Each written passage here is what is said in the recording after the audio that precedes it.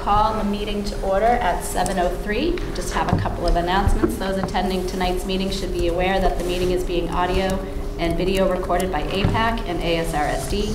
Any audience members who wish to record any part of the meeting must inform the chair, who will announce the recording. This is to comply with the Mass Wiretap statute. The listing of matters are those reasonably anticipated by the chair, which may be discussed at the meeting. Not all items listed may in fact be discussed, and other items not listed may also be brought up for discussion to the extent permitted by law. Per the Ayer Shirley Regional School Committee Policy BEDH, public comment is a discuss, is not a discussion, debate, or dialogue between citizens and the school committee. It is a citizen's opportunity to express an opinion on issues of school committee business as posted on the meeting agenda. Citizens will have three minutes to express their views. Can I have um, everyone please stand for the Pledge of Allegiance? I pledge allegiance to the flag of the United States of America and to the republic for which it stands, one nation, under God, indivisible, with liberty and justice for all. Michelle, will you call the roll for us, please? Mr. Bresnahan? Here. Mrs. Ranger? Here. Mr. Quincy? Here. Mrs. Reshoots? Mr. Ruprecht? Here. Ms. She on Zoom? She's not on Zoom? Okay. If she happens to join, can you just let me know? Thank you. Okay, so next on our agenda is our high school representative, Miss Anna Sanchez. Hello, Anna. Alright, so the first thing I have to talk about today is college, of course. Um, I've received all of my applications back, and I've been accepted to all the schools I got into, uh, applied for. Um, but I've narrowed it down to two decisions, so Bridgewater and Clark University. Um, it's difficult because they both gave me a lot of money. So Bridgewater gave me, yeah, um, they gave me a lot of money. So in the end, I would have to pay like fourteen thousand a year, maybe. And then um, Clark originally gave me like twenty-six thousand, which wasn't a lot compared to their um, tuition and stuff. But then they gave me a lot of grants. So in the end, I'd have to pay like the exact same amount of money. Um, but right now I'm leaning towards Clark because they do a free master's program and that just sounds very appealing, you know. Uh, my second thing is that I'm actually working with Mr. Deppy to do dance classes at the elementary school or like dance classes, but just like a time that we can all come together and, you know, learn some moves. Um, and then in my government class, we're working on doing our one minute speeches. So um, we all get to choose a topic and then we have to go in front of the class and do just like a one minute thing as if we're on the floor of the floor of Congress and stuff. And I chose to do mine on um, the importance of having diversified dance clothing within the dance community, um, such as having um, plus size leotards, um, having tights and shoes that match all skin tones instead of just like the classic ballet pink and things like that. And then lastly, for my AP classes, we're starting to take our mock exams. Um, we had our lit one last Saturday, but the power went out, so we couldn't see the time. Um, but after that, it was fine. So yeah, that's everything. Thanks. Anyone have any questions?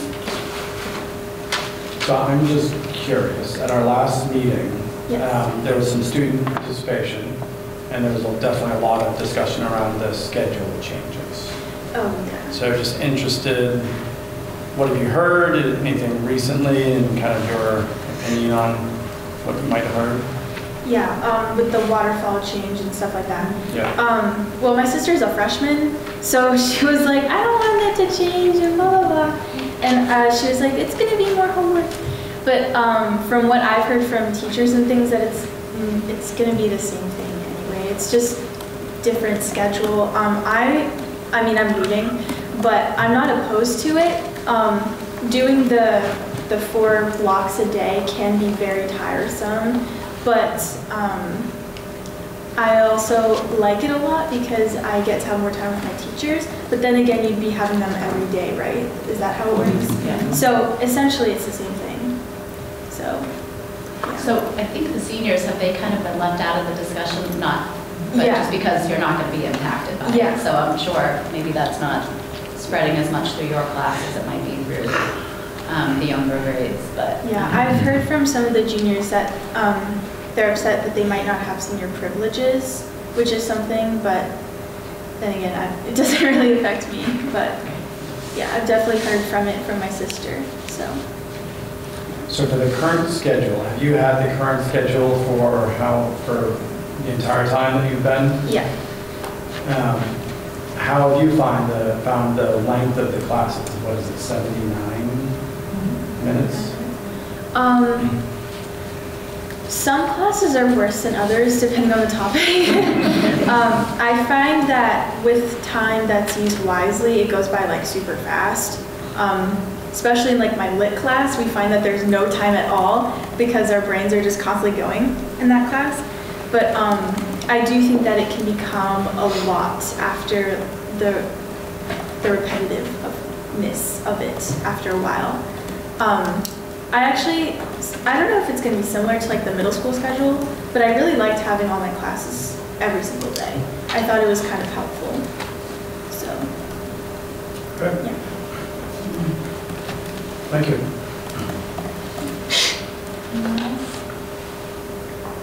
Class starting to talk about senior activities at all? or- Yes. I've heard talks about like Woo Sox games and everything. So that's exciting because if I end up going to Clark, I get like discount on tickets because it's in Worcester, which is nice. I was going to say, you're two schools, and I'm not really familiar with Bridgewater, but one, Worcester's obviously more city. Yeah. um, So you kind of have, you know, yeah, two different worlds there that you can pick from, which is Yeah. kind of nice. yeah, for sure. Whichever one appeals to you more. Yeah, um, I liked Bridgewater because I could bring my car my first year, but then my dance teacher told me, she was like, Anna, it's probably better that you don't have your car the first year, so you can actually make friends. It's like, that sounds like a good idea. But, yeah. Yeah, the car gives you an easy escape. Um, And do you know what you're going to major in? Um, it depends on the school because Bridgewater has a secondary education major. So if I went there, I would do secondary and um, I would double major in English. Um, but if I go to Clark, I'm going to major in English, minor in education, and then for my master's, do teaching. So you're going to be an English teacher. Yes. Oh, nice. Yeah. I'm sure Miss Witt and Miss Picasso are loving you. Yeah. That's great.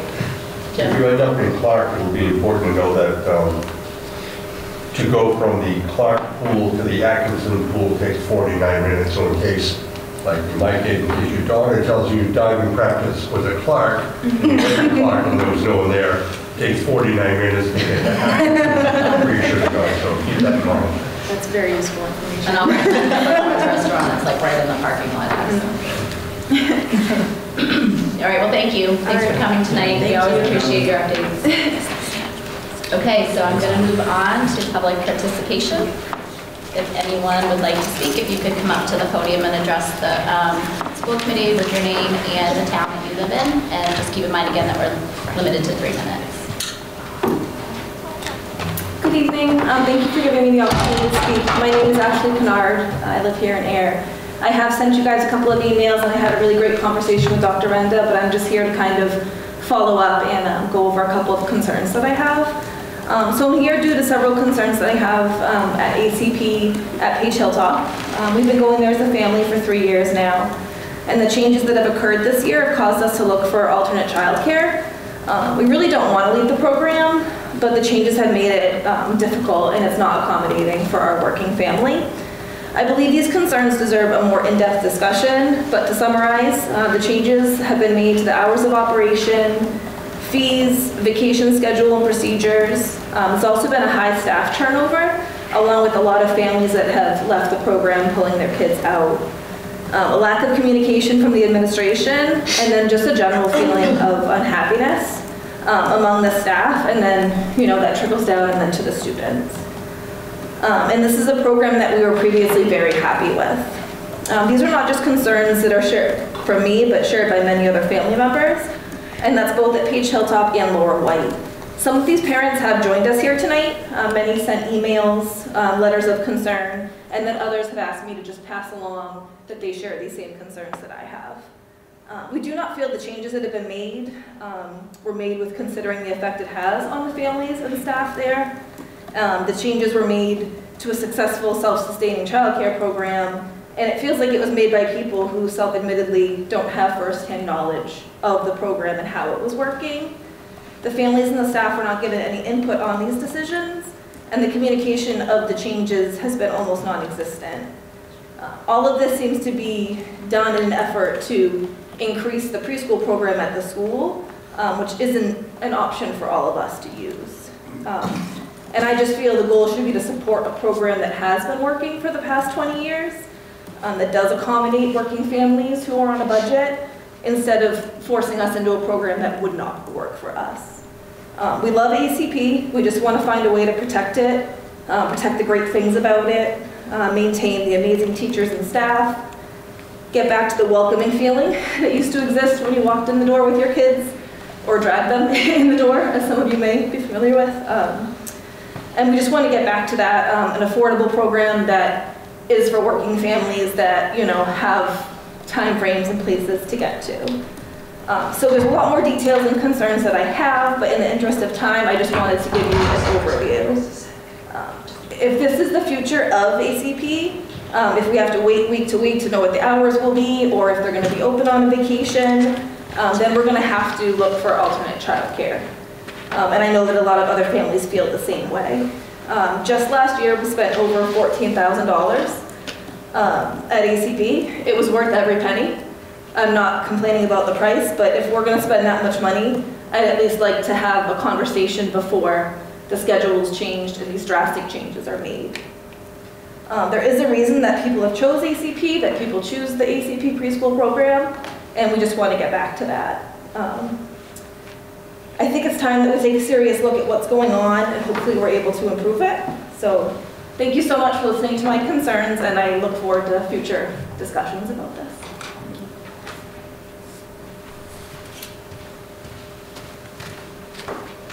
Anyone else? Anyone online, Michelle? No. Anyone?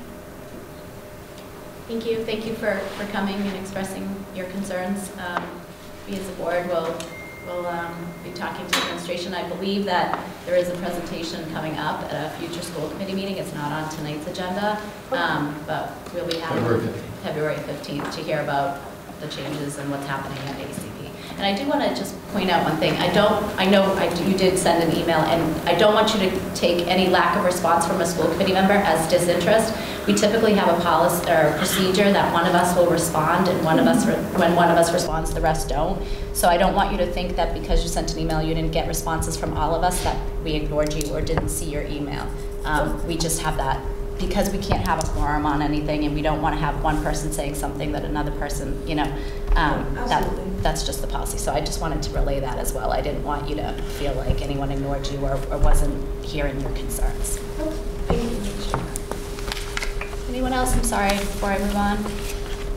Okay, great, thanks. We're gonna move on to the consent agenda, which tonight includes the, um, January 18th regular session meetings minutes for release.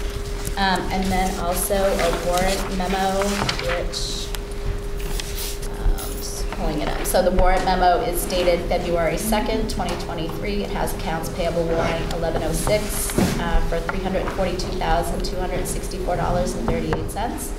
Payroll warrant 16 dated January 20th, 2022. 20, is that right? Should say 2023?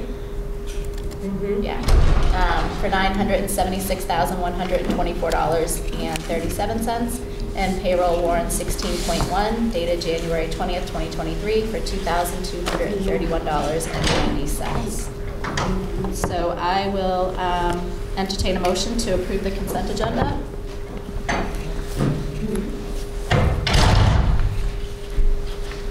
I'd make a motion to approve the consent agenda.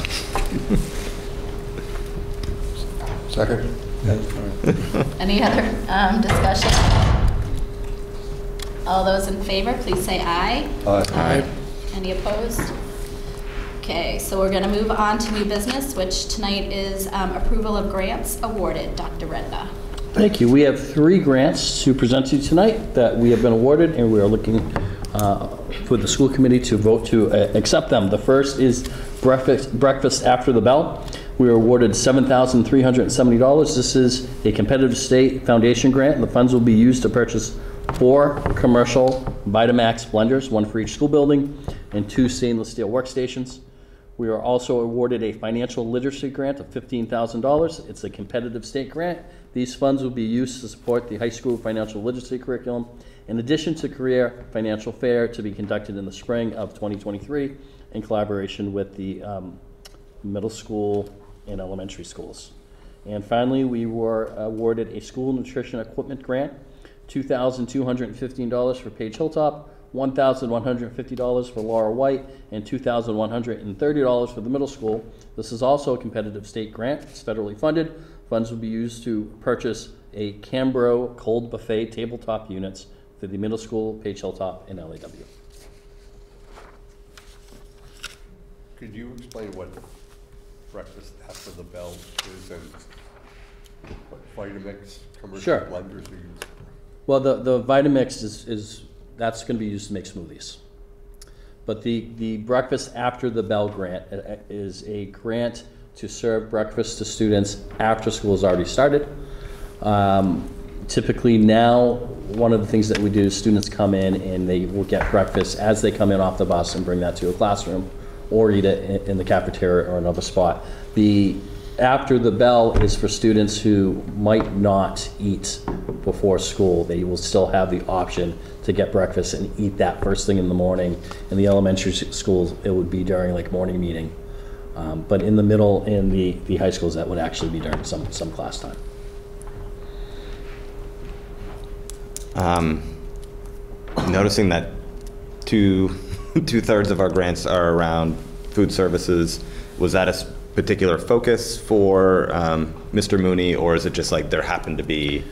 um, There happened to be. Happened to be, Yeah, that- okay. these came out at, at, in a cluster and they were all due around the same time. Yeah, okay. And there was a lot of repetition. Yep, uh, you can reuse, yep. Yes. Totally, Yes. great. All right, it's nice to see the grants coming in. They, yeah, we actually got some information on, on one today that we'll be sharing probably at the next school committee meeting.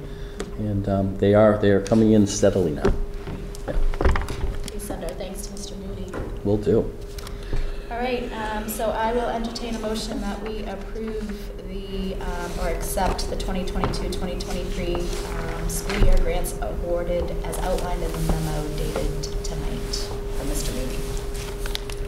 Make a motion that we approve the grants outlined in the memo presented. I'll second. Seconded. Um, All those in favor, please say aye. Aye. Aye. Any opposed? All right, so those are approved. Thank you. Um, And now we'll move on to the superintendent's report. Uh, Thank you. Um, Last week, um, or late last week, uh, Mr. Plunkett, Mr. Bresnahan, uh, Mr. Rupert, and myself met with Mac Reed. He's a former uh, superintendent in Shirley, but he's currently working for Mars. Um, And he is our consultant for the, uh, for the discussion of the population study for Aaron Shirley. Um, Mac will be attending the school committee meeting February 15th uh, in order to present on the population study and discuss the implications of the study. Um, It is, I I will share that um, Mr. Reed had very kind things to say about members who are on the school committee when we regionalized, and I believe that was, there was three of you, if I'm not correct. Um, Mrs. Granger, Mr. Quinty, and Mrs. uh, Reschutz um, had very nice things to say. Um, I'm going to give you a little information about the statement of interest. Um, This did come up at the town, at the select board meeting um, earlier this evening, and I will be presenting um, the process of the statement of interest at the next school committee meeting. But just to give you uh, a a little background, uh, the Massachusetts School Building Authority has opened the 23, uh, 2023 Statement of Interest um, period for core programs. The deadline for submitting core programs is Friday, April 14th at 11:59 PM. We will present at the next school committee meeting about the process and the school committee's responsibilities. Also, um, ACP restructuring for the 2023-24 school year. At the next school committee meeting, uh, Ms. Mary Beth Higgins, Director of the Ayer Shirley Extended Day Enrichment Program, which is actually the name of the program now, uh, will present on the restructuring of ACP program, which will, which has already taken effect, um, but some of the final changes will take a place uh, for the 2023-24 school year. The program is largely remaining, remaining the same, uh, with small changes in programming that will not affect current families. Uh, We plan to share all the information on the program um, and the changes with families prior to the school committee on February 15th. I'm, Dr. Renda, do you, in terms of some of the concerns that we've heard in email and just curious, is that something that will kind of highlight what some of the We concerns we are? can, absolutely. Um, One of the, for instance, one of the changes is the, uh, it- the program was closed during winter break this year. It's typically open. Um, This is a childcare program, and if you look, most, if not all, childcare care programs usually shut down that week. Um, So having talking to to Mrs. Higgins, we made the decision that we would, we would fall in line with that. Um, People running those programs need a break also. We- We will highlight, yeah. Okay, that was what I was going to say. I- I'm not saying that we need to do it now, but it might be good. It- yes, As you're sorry. presenting on the 15th, we, We will go over some of those changes. That was really the major change. Um, There was a change in some of our 90-minute early release, um, but the, the program has re- mostly remained unchanged this year. Probably more changes in the extended day program over at, in Shirley, which is now part um, of of this program, right. We do have some college acceptances uh, that were submitted. Um, I think it's been a while since we read these, so instead of reading the new ones, I think I'll go through all of the college acceptances, if that is okay with the school committee. Um, We have Bates College, Bridgewater State University, Endicott College, Fitchburg State University, Framingham State University, Franklin Pierce University, LaSalle University, Marymount Manhattan College, Merrimack College, Plymouth State University, Purchase College, Regis College, Roger Williams University, St. Anselm's College, St. Michael's College, Salem State University, Salve Regina University, Suffolk University, the New Schools College of Performing Arts, University of Massachusetts Amherst, University of Massachusetts Boston, University of Massachusetts Lowell, University of New England, University of New Haven, University of Rhode Island, University of Southern Maine, Westfield State University, and Worcester State University. And the sports update was submitted by Steve Kendall. Uh, so he wishes to share congratulations to the boys and girls track teams, both of which uh, won the Midland Wachusett League Championships last Friday night. The team will compete at the Central Mass Championships at Fitchburg High School on Saturday morning, February 10th. That's this Saturday. Senior Brian Holmes became just the sixth player in school history to score 1,000 points in basketball, knocking down a free throw in the second quarter of Friday night's win over Bromfield. Girls basketball team has already clinched the state tournament berth after wins over Lunenburg and Bromfield last week. Carly Ewa had a goal and two assists to lead the girls co-op hockey teams to a 4-1 win over East Bridgewater. The team clinched its first state playoff berth in years, improving to 10, 3, and 1 on the season. Boys hockey has won two consecutive games and still has a chance at reaching the postseason. Cheer will be competing at a competition in West Boylston, and both middle school basketball teams have had outstanding seasons and will wrap up with games on Tuesday and Thursday of this week. Both teams are at home starting at 3:30 p.m.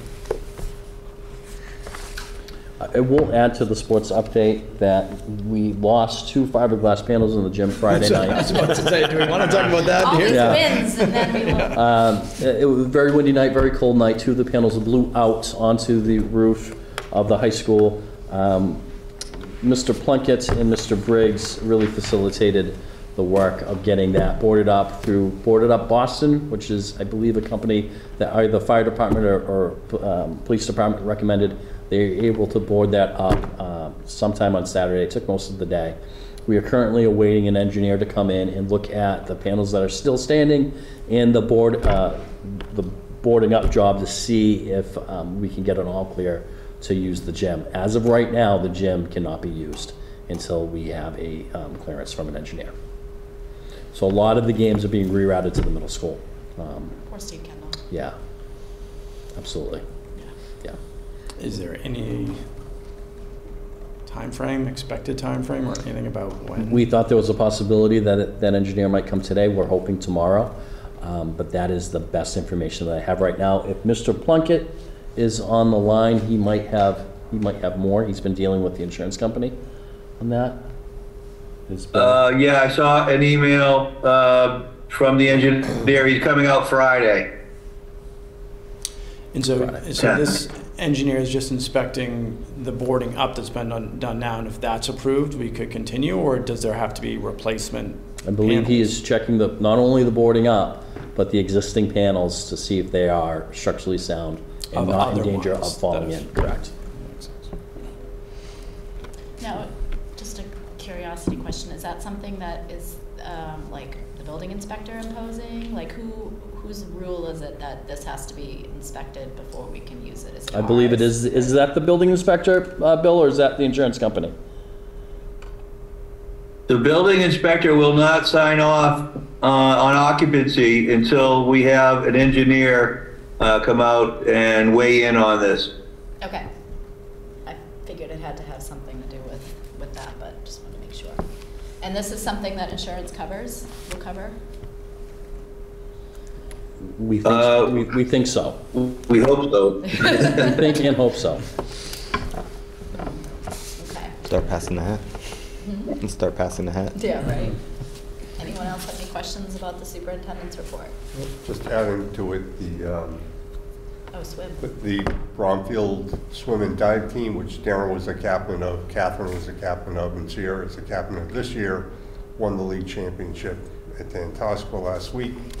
I mean, it's a, it's a big step. There are 17 teams in that league, like Tewksbury, Groton, Dunstable, Tyngsboro. I mean, there are some big teams in there, and it's a, the um, overall win for Bromfield, the girls won first, and the boys are, I think, ended up in fifth. But an overall win for Bromfield. And they start uh, the sectionals. uh, The girls placed two relay teams and eight swimmers in the sectionals, which will be a Super Bowl Sunday at 7 AM, starting in Springfield. And then the state tournament is two weeks from then, which will be at the MIT facility. Thank you for, for letting us know. I apologize for missing that. Is the, um, is that sectional, the one that's in Springfield, is that what used to be at BU? No, that's, just- the state tournament was at BU last year, it's at MIT this year. The college acceptances, um, how do those get updated? Just because I know Students submit to the guidance. Mrs. Wallace and the, the, the school counseling department.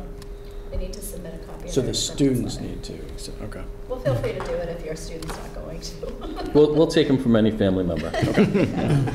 We'd like to add to that list. We have a few in Yeah, I my was family gonna that will say. add to this list, yeah. Every year you, uh, feel free to, to shout out your acceptances to me. Um, yeah, there are additional from Fairfield University that should be on here, Bryant College, um, and uh, Sacred Heart are, will be added soon. All right. Get those acceptances to Yeah, Terry three great Wallace. additions. Yeah. All right. Anyone else before we move on? All right, so we're going to move on to um, item nine, which is ongoing business. It's the fiscal year 24 preliminary budget update and discussion. Dr. Renda and Mr. Plunkett. Thank you. Uh, We'd like to start with our draft district vision, as we did last time. That is to create a dynamic, engaged learning community that provides equitable access and opportunity for all members and empowers students to achieve at high levels by fostering intellectual rigor, creative expression, social emotional well-being, and the agency to pursue meaningful, meaningful paths and thrive as responsible citizens. Tonight's presentation will include the fiscal year 24 budget, the assessments, and any questions that you may have.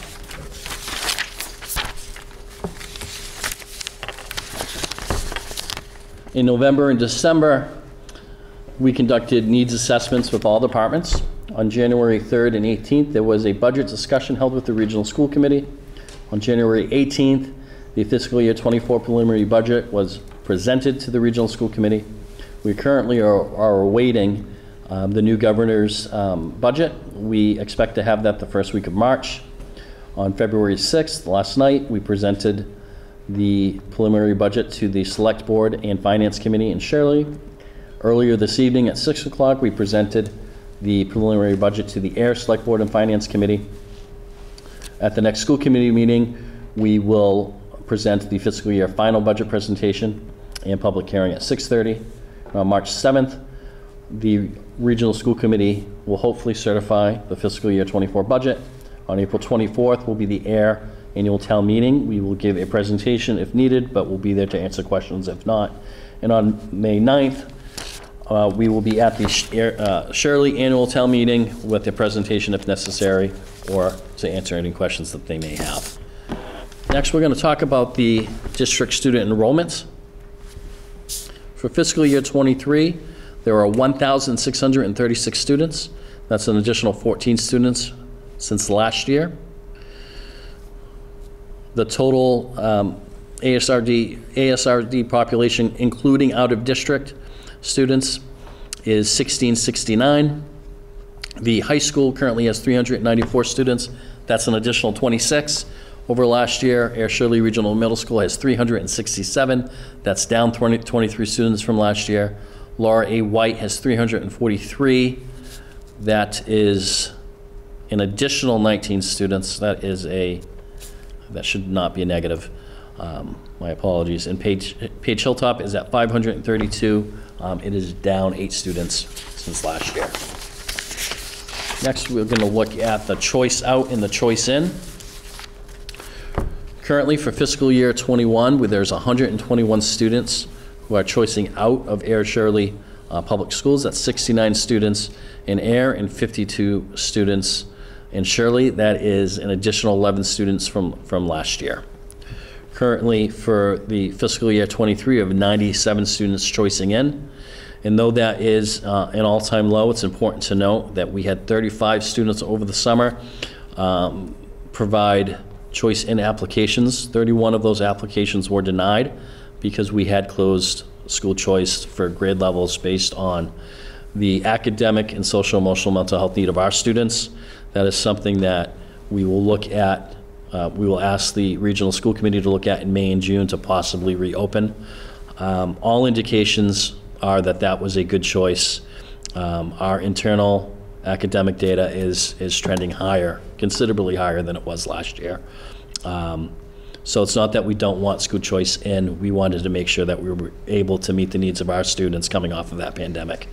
Um, So that number 97 isn't because there is a lack of desire to choice in.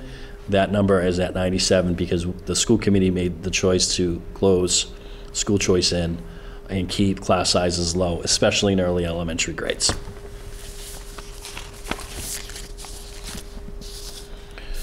Uh, Next, we're going to take a look at the students who attend charter in Nashoba Tech.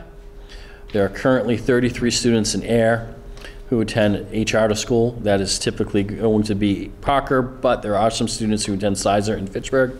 That's actually one less than last year. There are 31 students in Shirley who attend charter schools. That's uh, six additional. And there are a total 64 students um, who live in Ayer Shirley who attend a charter school. Uh, really, there, there's not much of a difference in the trend. That's an additional five from last year, but that was at an all-time high, um, excuse me, the five-year high, not the all-time high, uh, in fiscal year 18 at 71, um, and we are currently at, um, at 64. Uh, Nashoba Tech is really a, a similar story. There are 70 students in Ayer. Uh, for fiscal year '23, that's actually nine additional from the previous year. Uh, Shirley had 41 students, but that's eight less from the previous year. So we had one additional student. So in fiscal year '23, there was 111 students that attended tech. Uh, The year prior, there was 110. We are ranging from 99 to 111 over the past uh, five years. And then our English language learners. The state has, for fiscal year '23, 12.1% of the entire state was English language learners. compared to our district at 4.3%, or 71 total students. The high school has eight students, or 2% of its population, um, uh, being an English language learner. The middle school has nine students, or 2.5% of their population. Laura White has 18, or 5.2%, and Page Hilltop has 36, or 6.8%. You're going to see the biggest difference here on fiscal year 22 to 23, being Laura White went from 3 to 18, and that is because we made the decision to have both elementary schools service English language learners. Before this, we were busing students from Laura White into Page Hilltop.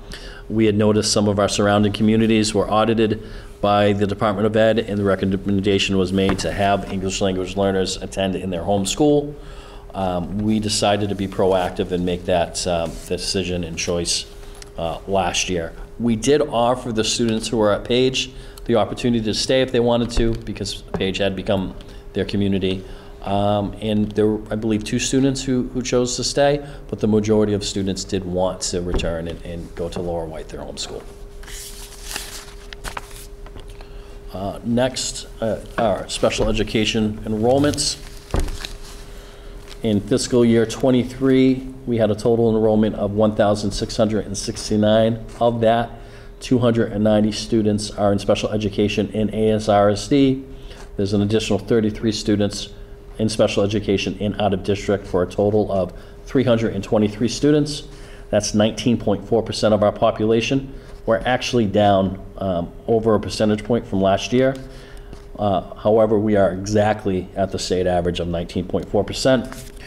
And the percentage of our special education students uh, that are in out-of-district placements as compared to our total population is 10.2, excuse me, as compared to our total number of special education students is 10.2, and the percentage of our special education students in out-of-district placements as compared to our entire enrollment is 2%.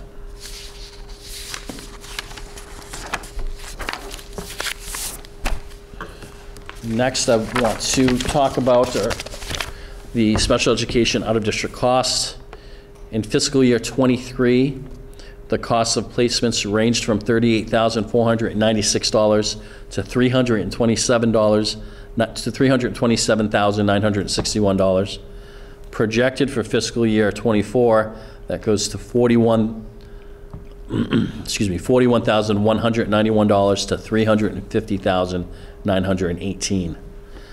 The total cost for fiscal year '23 was $3,001,412, or 8.9% of our budget. Uh, The projected cost for next year is $3,201,530, or 9% of our total budget. It is important to note that the OSD approved a 14% increase to day placement in residential schools. And that's where you're seeing that, that big increase.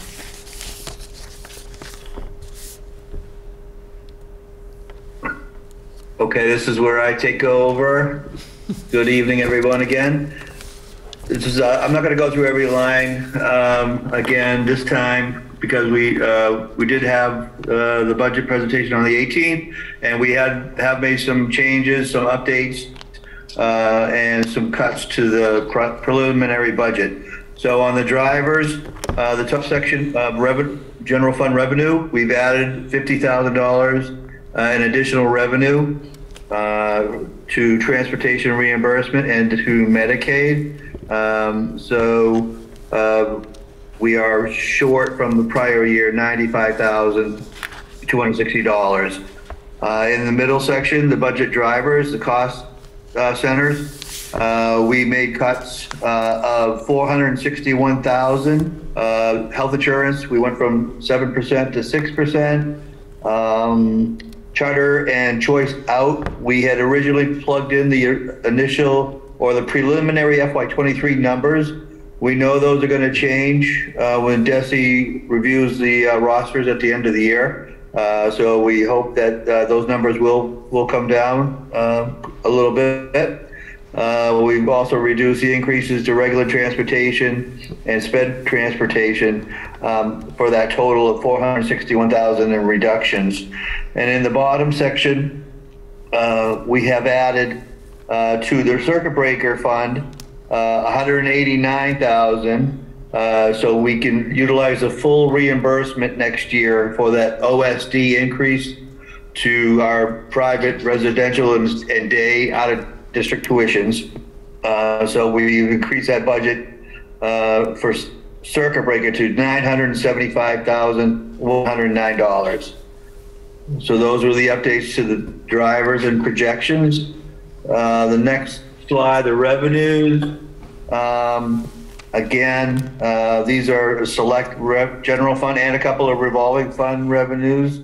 And I believe uh, these stayed pretty constant, except for the medic, increases to Medicaid uh, and the reimbursement from the regional, for transportation. Uh, So this slide is basically the same. Uh, We're about $5,000 off of the revenue for these selected funds over the prior version of the budget on January 18th. Moving on to the history of the regional budget. Uh, Our general fund is down $814,000 from the prior version. That's a 2.6% increase over FY '23. Uh, Looking down, the next change is for all funds, uh, which came in at $35,200,274. Uh, That is down from the prior version, uh, $525,000, and that's a 3.3% increase over the prior year. All the other figures following that row are the same. So we'll move on to the assessments. And the assessment, the operating assessment, which does, does not include debt, uh, has come in at, with these reductions and increases in revenues, the assessment has come down to twenty million, nine hundred and eighty-three thousand and thirteen dollars.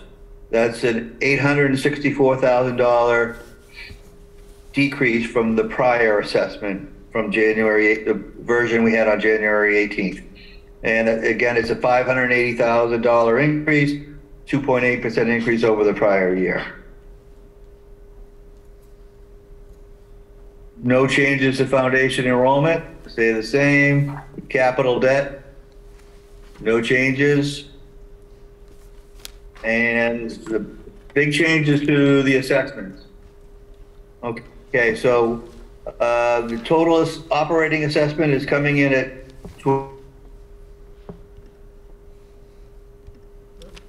We lost you, Bill. Uh, That's a $580,000 increase over the prior year. Mr. Plunkett. 2.8% increase. Mr. The Plunkett, prior version, that percentage was, you- can you hear me, Bill?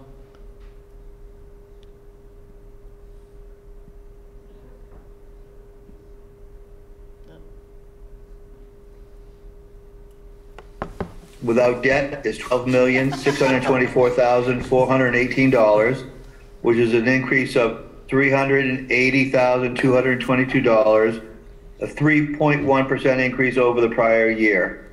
The prior version of the FY24 budget, we, that was 6.9% to Ayer, and that's, we made a reduction of 3.8% on the operating budget for Ayer. And the operating assessment for Shirley has come in at eight million, three hundred fifty-eight thousand, five hundred and ninety-five dollars. That's an increase of two hundred thousand, five hundred sixty-nine dollars, two point five percent increase. Prior version was seven point four percent, and that's a decrease of four point nine percent, uh, for the Shirley operating assessment.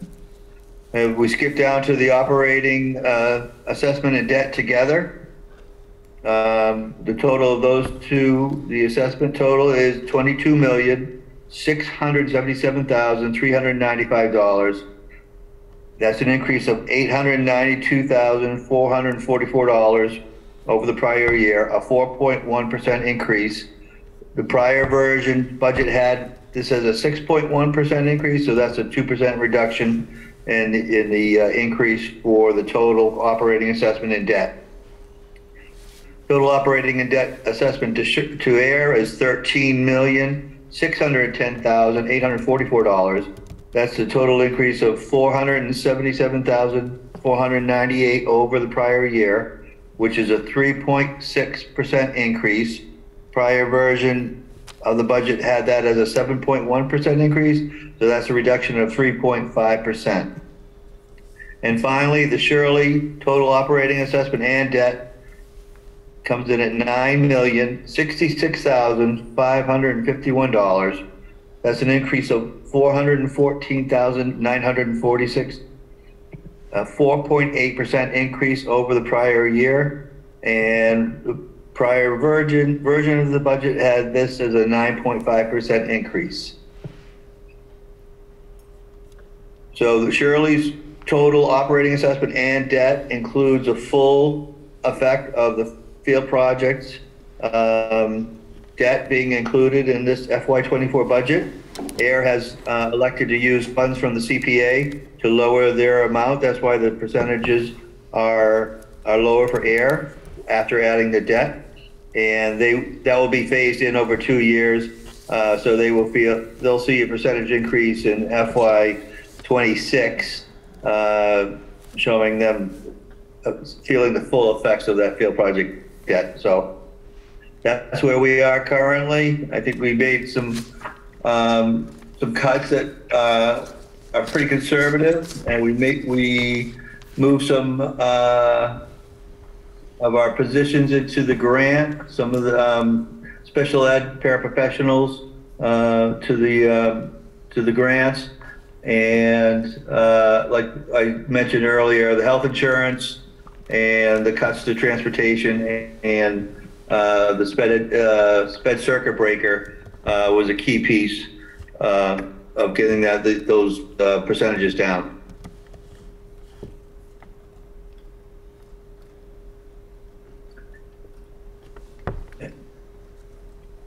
And any questions?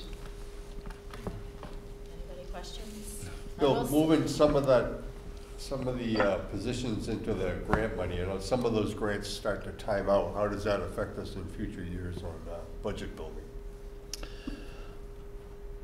Bill, do you want, do you want to take that? Do you want, um, Uh, yeah, I couldn't hear the question. Could you repeat the question? moving some of the positions into grants, how does that affect us in future years with budget building?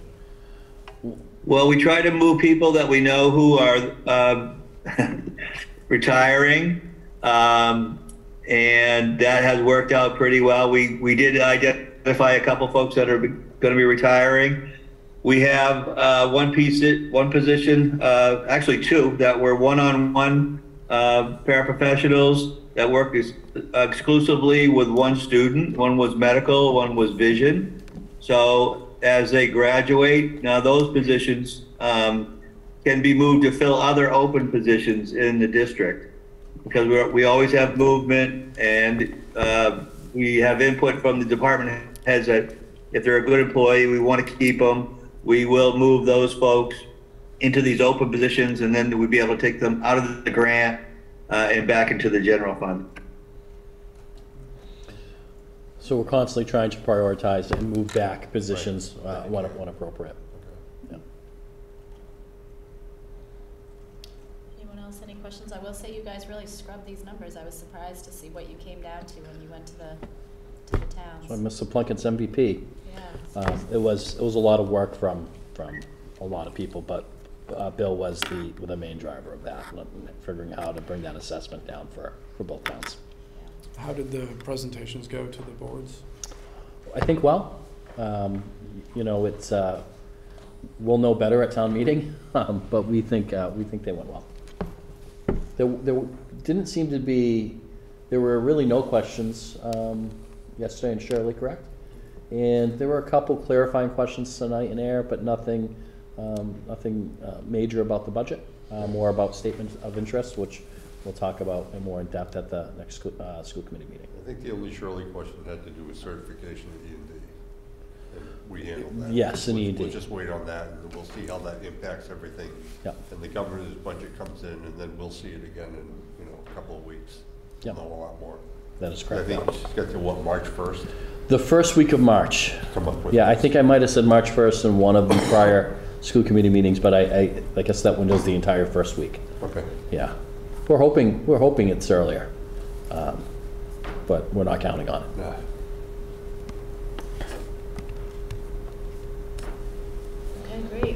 Anyone else questions before we move on? Okay, so we're gonna move on. Thank you, um, Dr. Renda and Mr. Plunkett for all this work. Um, Moving on to item 10, which is policy review report. Um, I'm gonna defer to you, Chris, on what's going on here. Well, we've got three sections. They are, well, one short, the other two are not. Um, We have February and March to, I think, get any feedback that we want, um, to, any feedback from the committee that we want to revisit with Dorothy. Um, So we can start with E, um, see how far we get with E. Um, I will note that section E because you, there's so much that we need to engage with facilities here. There's, I think there's still some where there's open questions about like, is this the policy? Is this what we do? Um, But if folks have had a chance to go through, we can go through. Um, If we haven't, I can voice over the top page or the, for example, section E, there's three pages that summarize um, the recommendations from MASC. How do folks want to spend their time? I'll be honest and say that I haven't. You, you haven't committed these to, Well, Where I have, I mean, it's all, it's not complete Greek to me, but some summary or narrative would, I think, help me as well. um, great. So I I can start with section E. Um, So this is the policy analysis. Um, I think the general guidance from, what just happened? Um, from MASC was there are some, the majority of places um, where they had feedback was more about, is this a policy that's followed? For example, we have an asbestos management policy. That is something that um, MASC does not have, and they didn't have other examples um, of those handy. We should, the recommendation was keep it in place, make sure you still do this. If you want to get rid of it because it's not, asbestos isn't a concern in any of your buildings, feel free to delete that. Um, There are some, what I'll call like nitpicky things that are dated. So for example, under first aid, it says contact the school physician. Um, They would recommend that we take from their policy where they say, um, contact medical personnel. Because you might call, you know, the nurse, you might call an ambulance, um, not necessarily the physician. Um, There are also some things, so like the no school announcement um, policy, um, there's a few others that, um, like bus behavior, um, that should be in the um, handbook versus in a policy. So those are the um, sort of biggest themes across the recommendations that were um, that were given. Um, the sort of last, sorry, the last big thing is around meals. Um, so we have not updated our meals in, I don't think, a few. I should look at the dates on them. MASC has more extensive policies around meals. They recommended that we adopt theirs. Do they provide, I mean, I, I'm sorry, Sorry. if we were, to- if I were to scroll through. So if gonna you look at scroll, yeah, if you scroll through what is in here, sorry, my computer just went into um, go to sleep mode. Um, so if you scroll, oh, are there's not in here?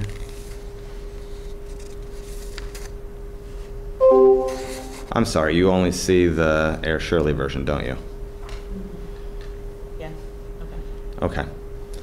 So after that, we probably shouldn't go through E because you can't see the marked up version. Right. Oh, because you probably don't have it either, do you?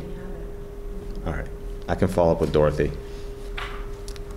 Okay. So that's a summary of what's in there. Um, we will get a marked up version that um, we can look at. Or at least provides the MASC policy that they're. Yeah, exactly, where they're making the recommendation of what we should Right. um, look at. Um, Great. After all that, do we want to go to section F? Um, You're saying these sheets are not the updated ones? Because I think my packet has both. Um, I have both. Do I you have the- both in yours? I have the Ayer Shirley and I have the MASC For E?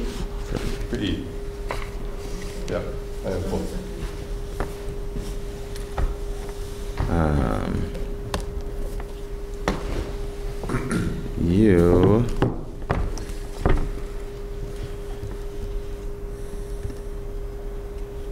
Are they back to back, Jim, or are they, like, how, how is it? They're right next to each other. They're all the way through, just like they were for the, for the, um, oh, maybe they are in here, but they're not labeled? Oh, so they are in here. Um,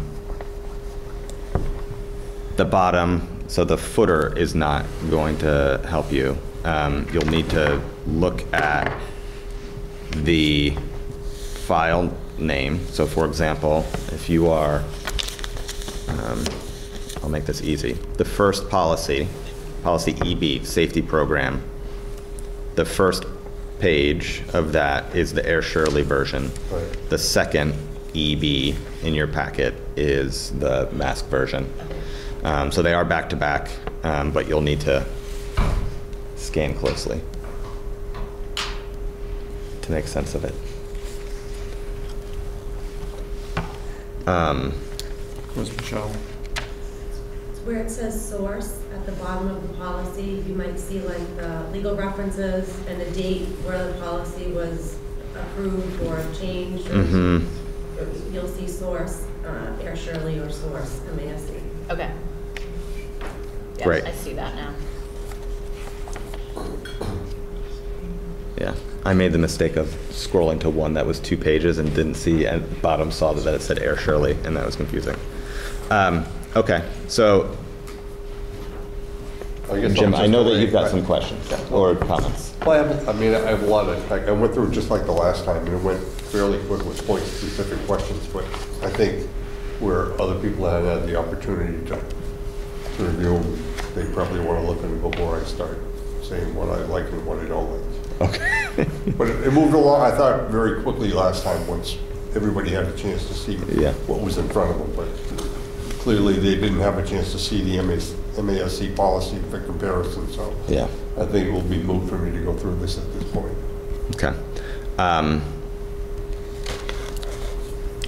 I do think, Jim, it be- might be helpful if you provide your comments to Chris, at least, so that, I mean, it depends on how many there are, but if there's a lot, Well, they, were- they were, um, I think they had, they gave their review on what they were thinking about when they were doing it. Then I just took a look at what they put in front of me and they said, all right, this is just a minor change here. This is, Yeah. you know, some of it's wording, some of it's a line, some of it's a paragraph, some I like ours better than theirs, some I like theirs better than ours. So it's nothing earth-shattering, but I think if we are, we're all starting on the same page, it'll go way quicker, because then we'll be able to like, look at the changes and then vote it up or down and just move to the next one. However mm-hmm. the vote goes, is just the way it goes.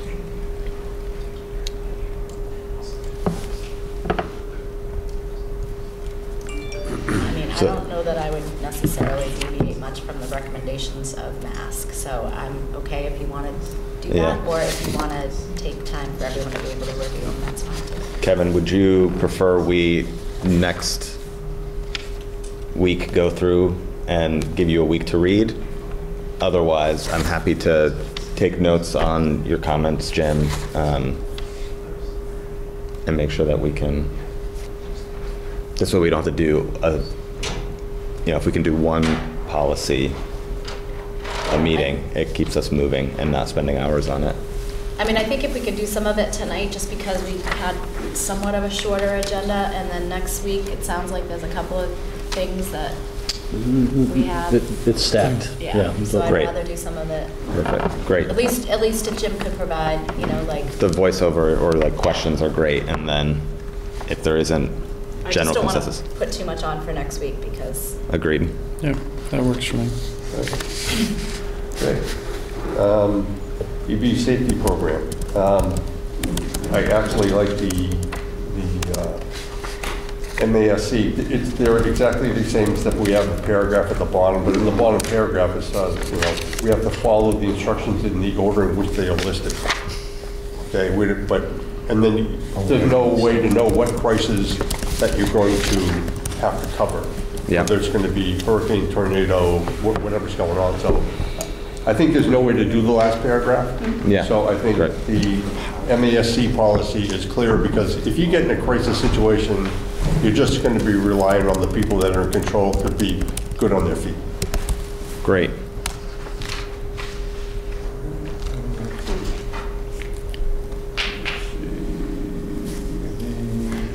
Then we get into um, uh, pest management program.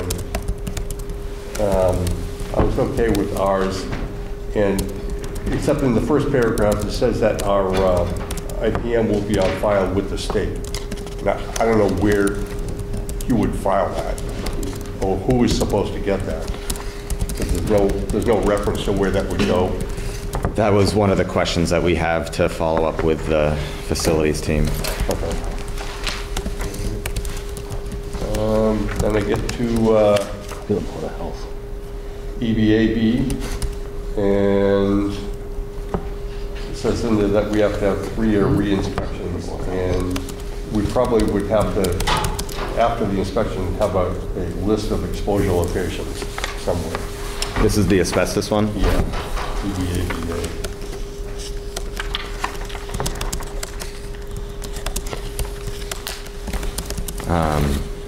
Yeah, I have many questions about that one. I was Yeah. like, do we have asbestos in the district? Um, And if so, yeah, it'd be helpful to, And and we have to, it says in there, we have to have a three-year re-inspection. And I Yeah. don't know where we put that file for the money to actually do that.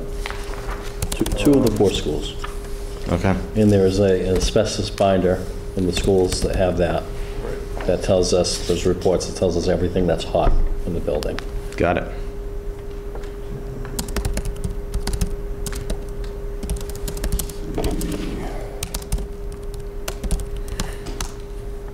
Um, EBB first aid. Um, I kind of wanted to keep the, the MASC version. In our version, we have a- an extra paragraph that has, "No young child will ill or injured will be sent home, or an older child unless the illness or injury is minor."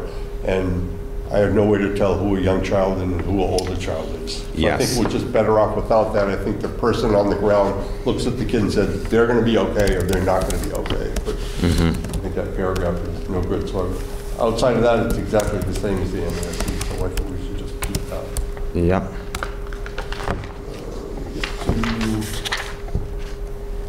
Uh, Use of automatic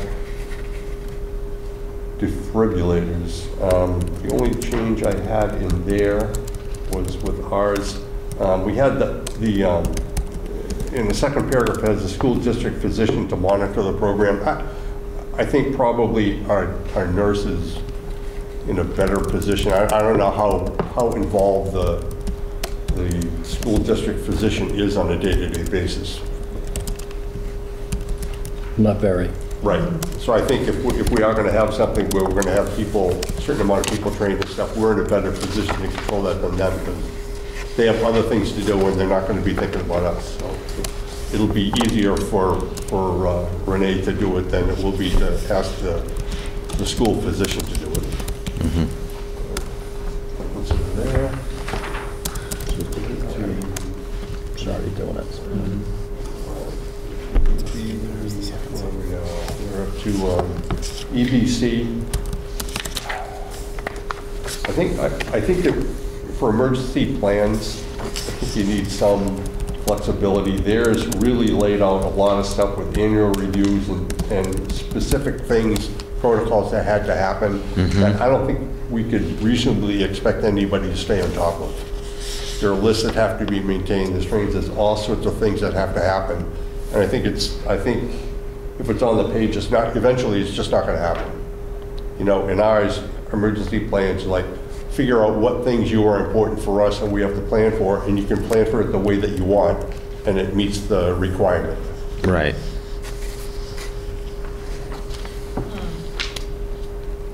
And then the uh, no school announcement policy, E EBCDR, we just jumped that thing, we don't do that. Shirley no longer blows their horn, no one lives close enough to hear. I love nothing more than reading that policy. That's Um, awesome.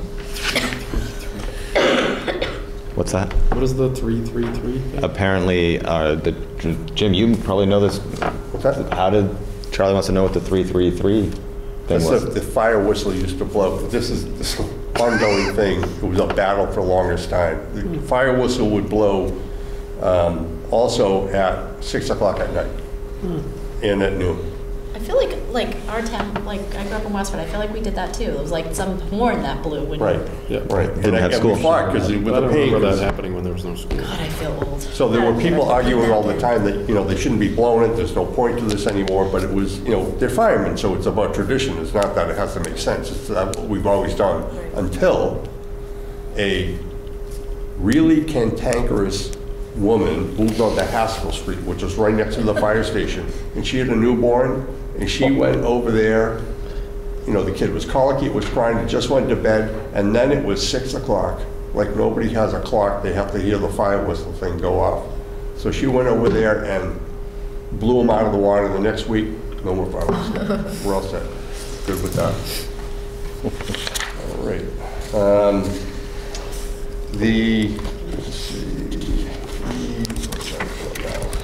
here. E EBCFA, Airborne Virus Protection.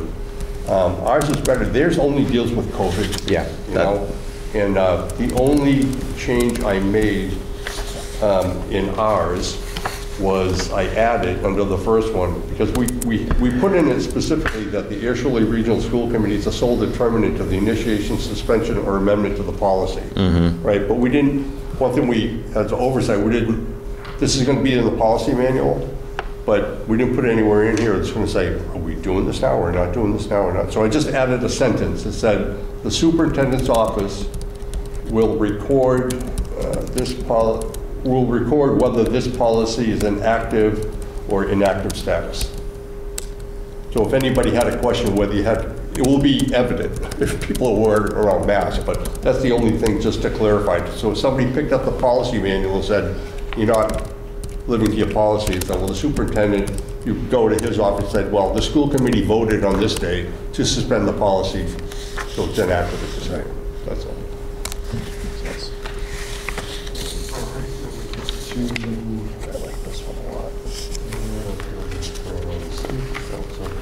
Okay.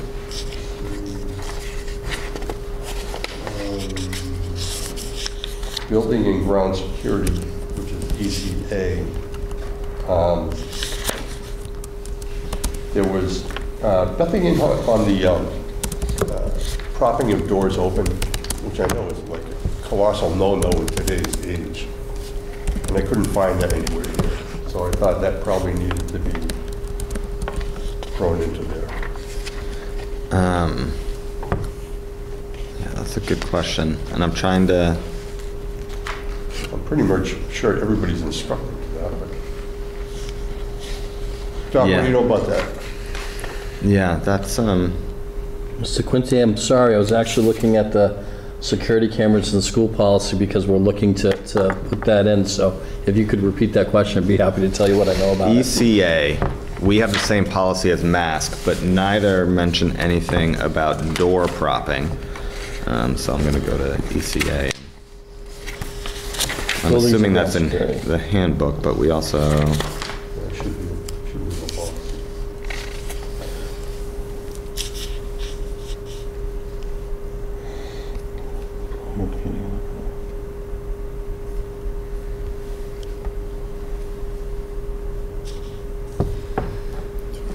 So are you proposing that you would add something that says door propping? I mean, I'm just wondering. Door 'cause- door propping is a, is a big no-no. Right, That's- but Right, so it's, I think it should be somewhere in, we should just add something into the pol, I didn't see it in the policy here. It's We one would- thing we would everybody actually knows like- and everybody does, but Yeah. We would I- like that in the policy. Door Yeah. propping is a huge problem.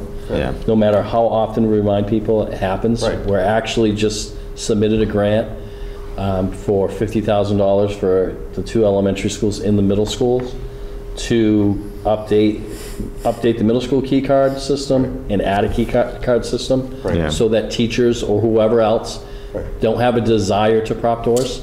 Um, So it- to have it in the policy would be extremely helpful to us. I think it's probably implied in the third paragraph, access to school buildings and grounds outside regular hours, or I guess no. Um, Second paragraph, thank you. Um, Yeah, the- it's a secure, maintenance of a secure locked building. Um, The, the only But reason like, I was, but I- yeah. was saying that is because it doesn't, it doesn't seem to me that it gets that specific. Like, I get what you're saying, but there's no, you know, it doesn't, this is very general as, as far as I read it. Right. There's, you know, windows or whatever, I mean, there's other things that could be kind of left open or whatever, um, that this doesn't. Yeah, it just- it just came into my, after that whole Uvalde thing. Yeah, well, it doesn't, the thing is, it specifies how access, that access should be maintained or monitored for outside of school hours. It feels like there should be something that references more explicitly. um, Yeah, I don't know. I could see it being something that we call out more explicitly with, in the second paragraph. We, we do try to limit any work going on during the day, but, but some, if you have a plumbing emergency, that's when they can come. Yeah. That's when they can come. To get back to the door propping in the, in the Yeah. connection with the key, if we have a key card system, we could actually give a temporary key card to a contractor so they can get in and out. They wouldn't have a need to prop the door. If they don't return the key card, we simply un- inactivate the key card. With a key, if someone walks off with a key, we're stuck, right? We need to call a locksmith, we need to have lock- locks changed. So it it is, um, propping, propping doors is an issue. I mean, it- uh, if you remember Fox 25, three, four, five years ago, Charlie, you- I know you're going to remember this. They were ri- driving to random schools and trying to just open doors. doors. Right. Um, Great.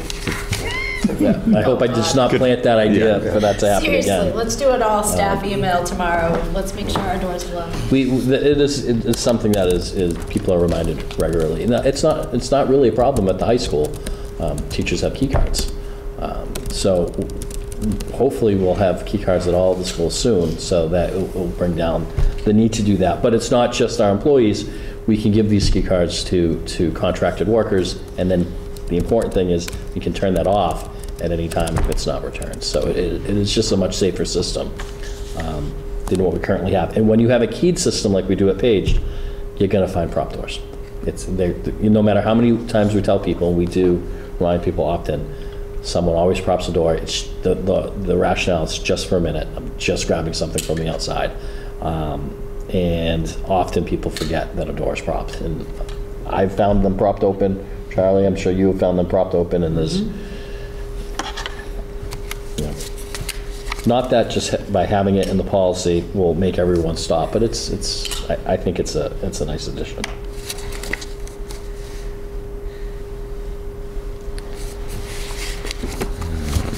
All right. You can tell I don't like prop doors. I see that. Yeah, I wasn't a fan of them either. yeah, In high schools, they were particularly challenging. yeah. PTSD's going on over there. I It- It's, well, we're form- former principals dealing with prop doors, yeah. Then you get down to, let's see, ECAC vandalism. I think we just get rid of that. Mhm. Yep. Vandal, that's our crime, you treat it like a crime and do what you have to do or some other, I just think we don't need an independent policy for vandalism.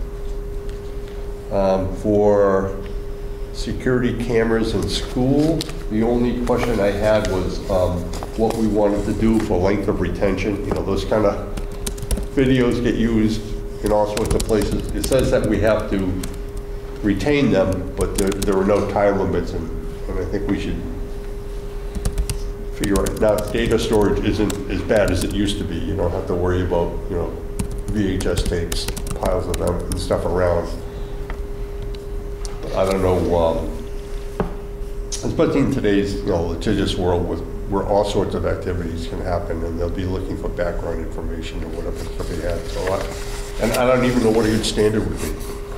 If it's Right. three months, I, I have no idea. We, we should say something, but I don't know what that one thing is. So we can think about that. That's a great question. I, It's a good question. I'll also note, this is one that um, Dr. Renda, you and your team may want to look at specifically about the, like,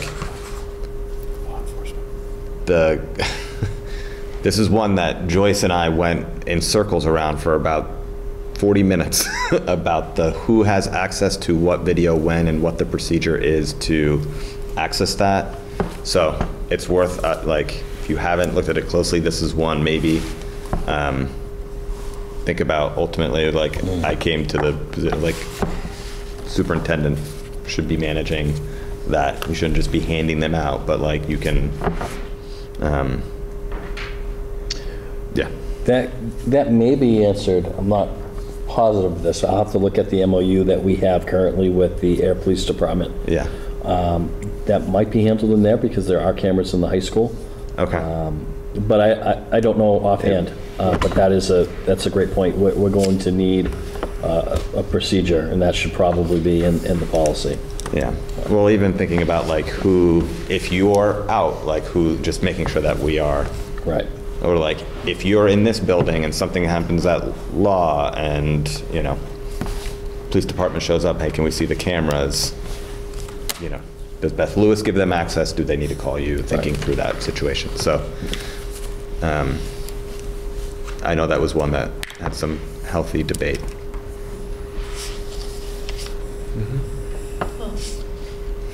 Then we get to uh, EDC, which is the uh, uh, loaning school department equipment and property. I, I just read them both, and I thought ours was, even though it was a- it was a little bit more explicit, and it, but it seemed, it was short and simple, and I thought we would just keep ours over theirs. Just my, my opinion of my reading. Recycling, waste reduction, that's good. Um, me get to uh, student transportation services. On all the stuff with that and the buses, um, I got into re- really the, uh, how we want to handle, now that we have our little van, how much of this stuff is now going to apply? Because before, when we were talking about buses, we had all the protections of contract with the bus. But now, some of that goes away, and you absorb some of the responsibilities. Um, And sorry, is this E EEAC? uh, EEA.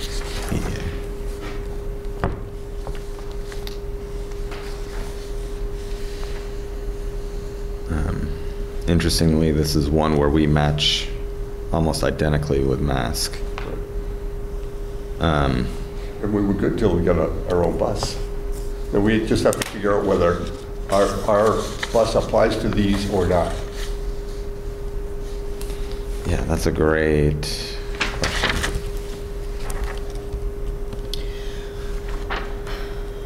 So you guys can think about that. Yeah. As you're reading, think, mean, I because I, Yeah. I thought about it a long time, and I'm not really clear what to do, so. you I mean, I guys- think the distinguishing factor is that, that the bus doesn't, or the van, as far as I know, doesn't transport students to and from school?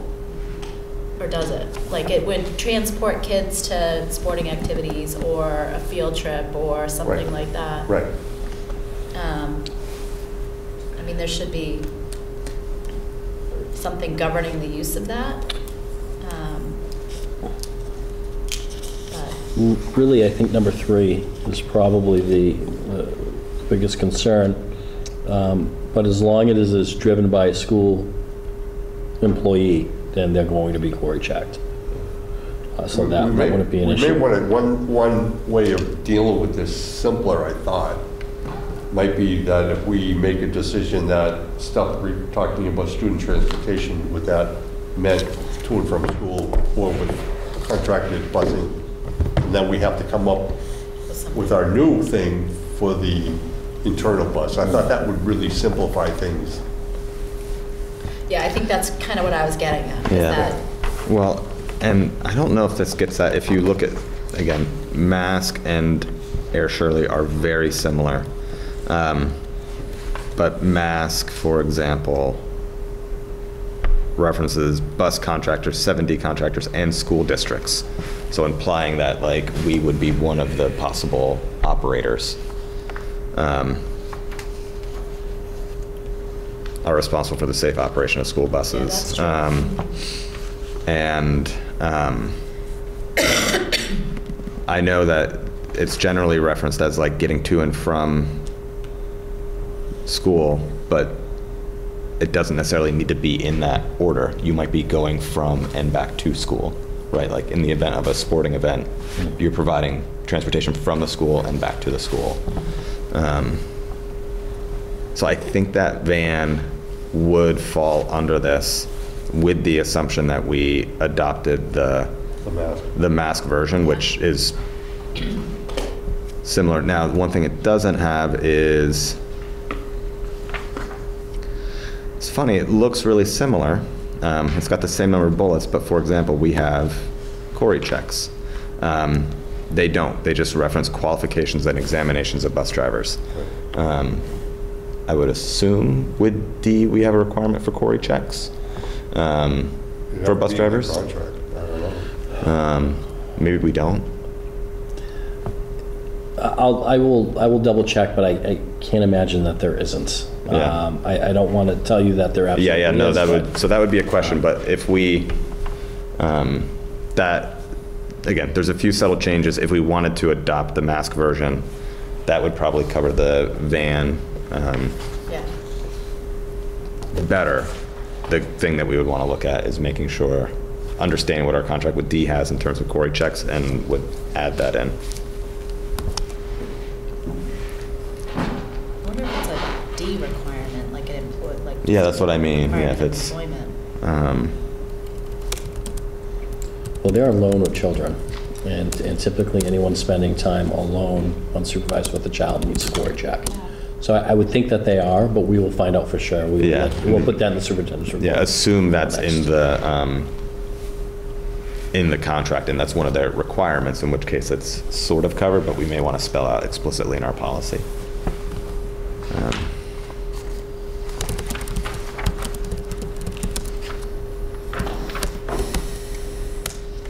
Okay,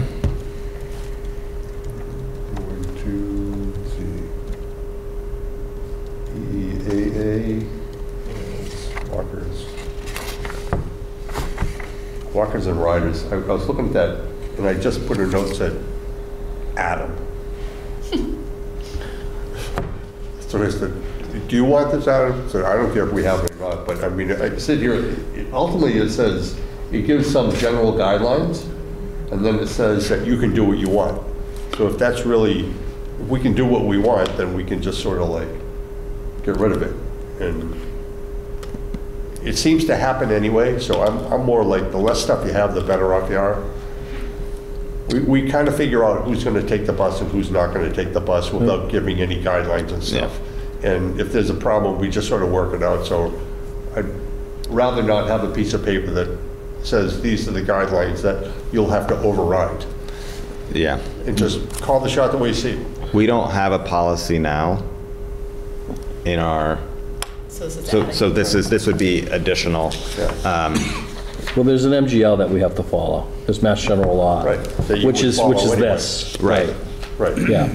So I mean, we're, we're following this now, and being a regional district, Right. we offer transportation Yep. to anyone who lives in Ayer and Shirley. Yeah. So, I mean, there are, there are students who live across the street from Page, like literally, if they cross the street, they're on Page Hilltop property, they take the bus. Right. Um, That's one of the first questions that I ask, but it's, it's, you know, the kid likes to take the bus, it's fine. Sure. So anyone who wants to take the bus can. There you go. Um, And, and we, we do, we do comply with Mass General Law, so it, it- Well, living in a town the size of Ayer, most people are probably within that radius that we wouldn't have to provide Yeah, it transportation. was just, it was interesting. I saw the kid got on the bus, drove about 30, 30 seconds to school and got off the bus. It's great. Um, So, leave it out? Or add it in? I I don't, I mean, I don't, It's, if I we mean, don't have one now and we're, I don't know, I probably would agree with Jim, like, why have something? yeah, I think I mean, we have to follow the law anyway.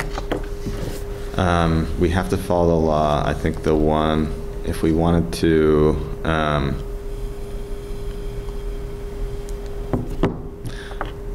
well, Thank you. are you saying for a regional school district, you are required to provide transportation for every student? Mm-hmm. All right, so regardless this, of distance. So this wouldn't even apply. this to wouldn't us even matter anyway. us. That explains why we don't have this policy. Mm-hmm. Great. We should not include it then. There you go. Can I give you a live update? Dee-Bus has confirmed that they require fingerprinting and CORI checks for all employees. Tremendous. We can add that in a dot mask. Yep. That gets us to EEAC, school bus scheduling and routings.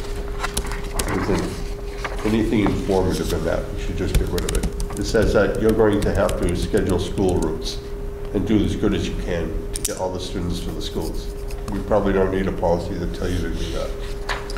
No. Um, yeah, that is a uniquely, that is a Ayer Shirley only policy, so. Well, one year it must not have gotten done. Then we get to EEAE, School Bus Safety Program.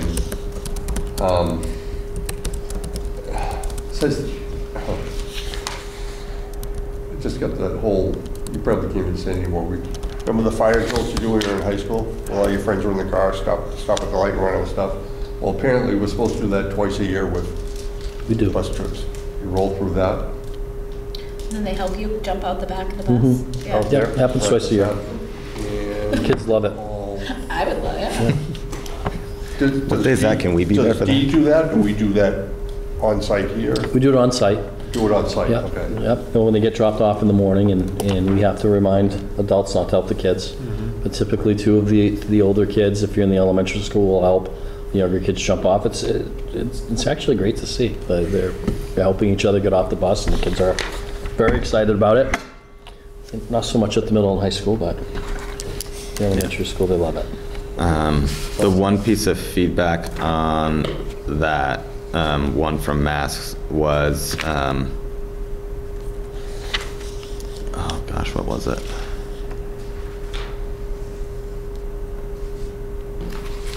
They reference, what is this, E EEAC? EAE. AE. Um, so we, where is this? Um,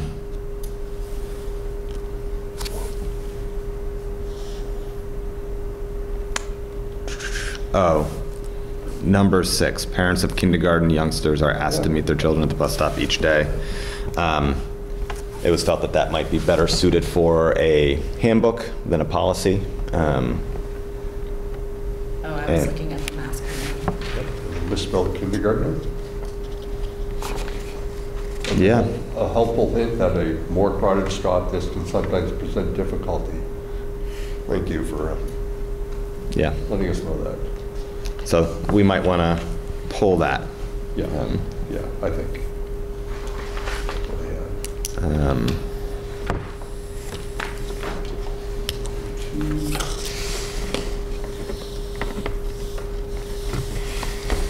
That's a GL.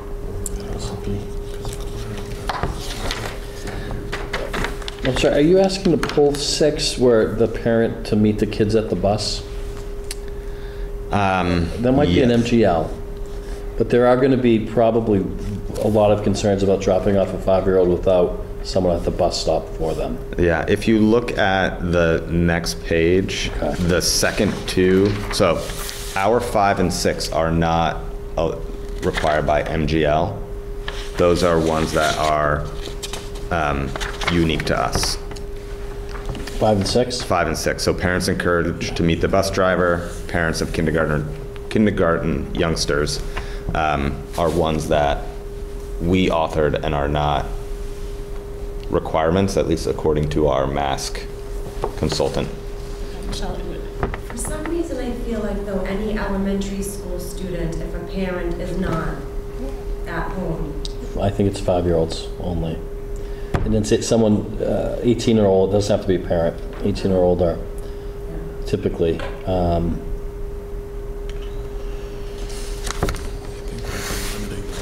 I'm sorry? Yeah, we we can. We- look it we'll- up We'll research yeah. that. I I thought that was MGL. I could, I mean, I'm not a lawyer um, by any means, but, um, and MASC is saying that's not required. They were saying, yeah, Or is that the one that you already said was referenced in the handbook? No. Um, they said that that was not required.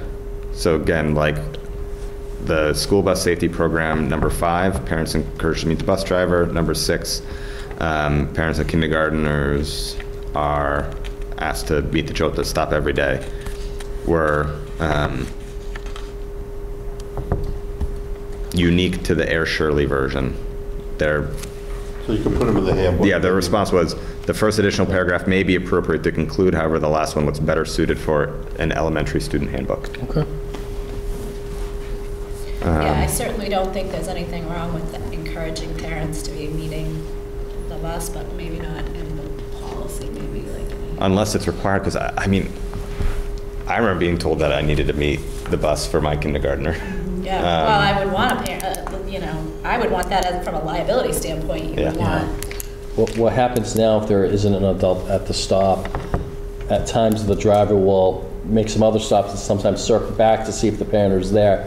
Um, Otherwise, they, they return to the school. Yeah, Yeah, and, um, you know, having, it it was, it was, it's a great policy and the biggest pain of a Oh, policy I'm as far sure. as, uh, uh, being an elementary principal, but at least we know the five-year-old is with, and even if they're at school.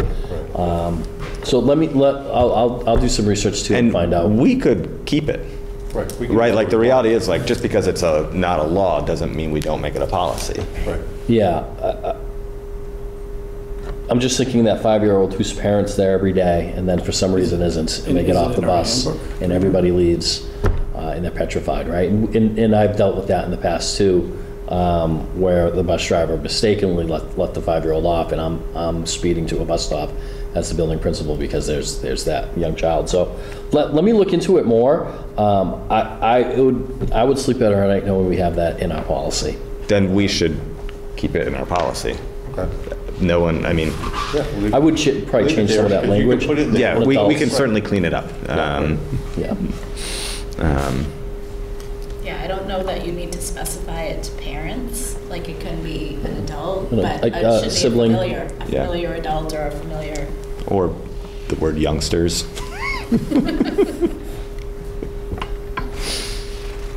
Um, Okay.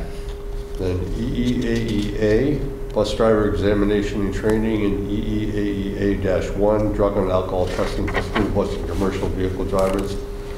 All the stuff in there is required if you have a CDL license. And the people from Dee have to manage random drug and alcohol testing. There's no reason for us to have either one of these policies. They can't, they can't get a license if they're not doing that. Dee can't operate that way, so we don't need to do anything like that. Um, Yeah, and that was, they're saying that the, for E, EEAEA, that the MASC policy just recaps the requirement. The adoption is at our discretion. Well, For dash one, it was a similar piece of feedback, and it just adds, it provides for the district, gosh, this language is, um, it gives the district procedures to have in place in the event of a positive result. Um, But Dee would be the first one to get the positive result, and they, they have to take their immediate action. Right, that would be my assumption as well, that Dee is managing. um, um, Where is it? Because we don't employ any of the bus drivers, we can't do anything. Mm-hmm. Yeah, but Um, we can although, insist that the, Yeah, that Dee do something Right. if they're not. They- They're they not- have- they you have- definitely have They to have, they have to comply sit, when they do the drug and alcohol testing, if you fail, then Dee has to talk to the person, because they're in a consortium with, where they do the random testing. They have to meet with the director of the consortium before they get turn back on, so there's a, a whole protocol for that stuff. Yeah. And their CDL gets immediately suspended with the part of the test, so they can't drive. Yeah, I mean, Then they can, they can get back to citizenship driving once they work with the person from the, the, uh, the testing agency to prove that they're, that they're okay now, but then their testing frequency goes That up. may There's all these be, I other just, rules. I still don't know why we would have to strike it. It, it does Yeah. say that, it's in there too, so that's our yeah, expectation. yeah. I mean, we don't have this policy now, it's just a question, do we want to add this policy? Um, It's extra paper, it's maybe a safeguard, although again, like Dee is managing it, it's not on us to manage. I think if we were managing a transportation department within our district, if we weren't contracting it out, it would be, you'd obviously, it'd be essential. Um, It may be less essential for Ayer Shirley. It here, even like for bus driver examination training, each driver will file with school officials a medical certificate and proof of freedom from tuberculosis. So every bus driver is going to have to give that to us. Where is that? Uh, Is that a different policy than- Okay.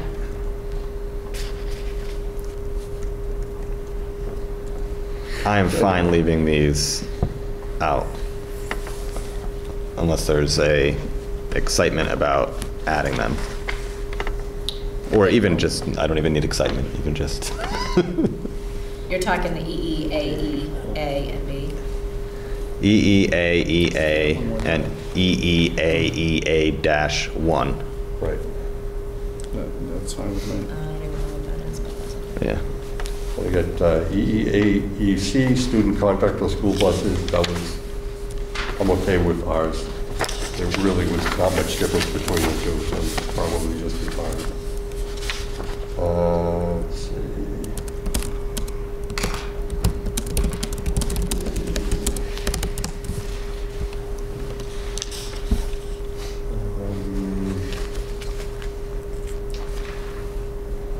Let's see. So we got to EEAEC-R. And I changed on the first sentence, uh, in case of any misconduct on the bus, the incident will re- be reported in writing. So that would just mean that, if, you know, a bus driver comes in and they're PO'd about something that happened on the bus, they're gonna have to write it down because somebody's gonna, gonna have to try to recreate what happened. Yeah. But I'm not, I don't think we need a proper form, as long as they, you know, they write down whatever happens, okay? And at that stage, if there's a problem on a bus with a discipline issue, I think them and the principal can handle it. And on the first occurrence, I don't think they need to give the superintendent a copy.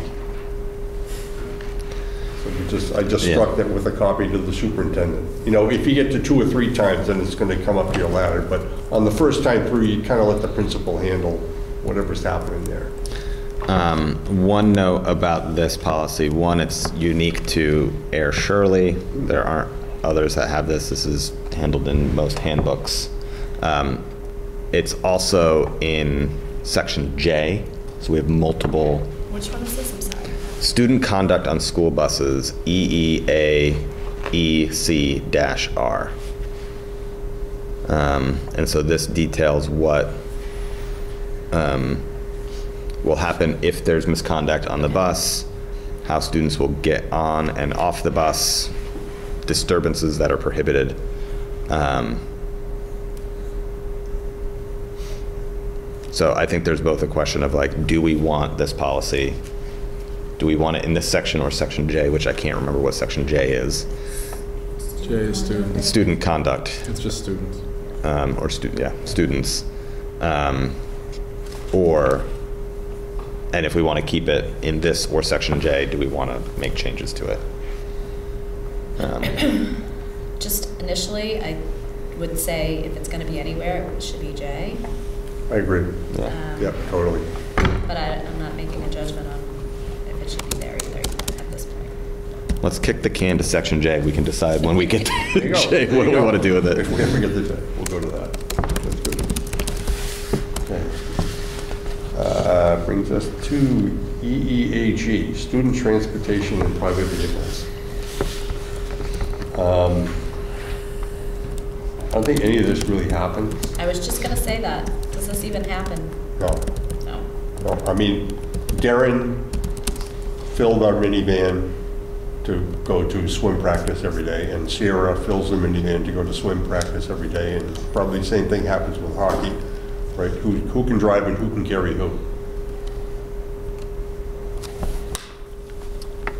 Um, I mean, I just know even, like, that's why I was reading this, and I'm, I'm assuming that this is referring to sport, act- like, sports practices and stuff, correct?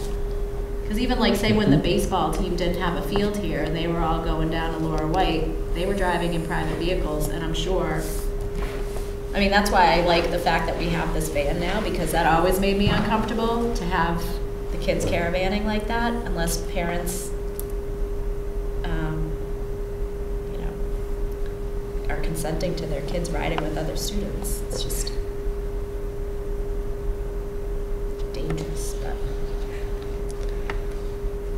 yeah, I mean,